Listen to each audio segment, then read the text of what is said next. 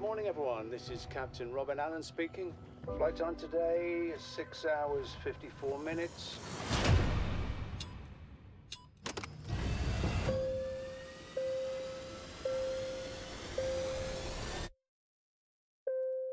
Stay in your seats! Get down! Now!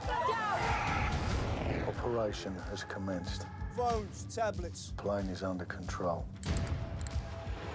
You need to see this. Plane veered off course. Someone is calling for help.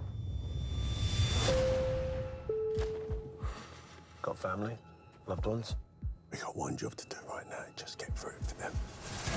I got a message from the plane. Dad says incident on board.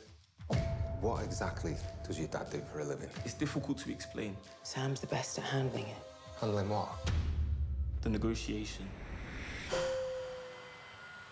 There are 200 people on this flight. If they try something, and then this plane goes down, I don't get home to my family. Let me make you an offer. I've been handed demands. If it's all going wrong in the first hour, imagine the next six. We need to get a message to the whole plane. We just need to be ready.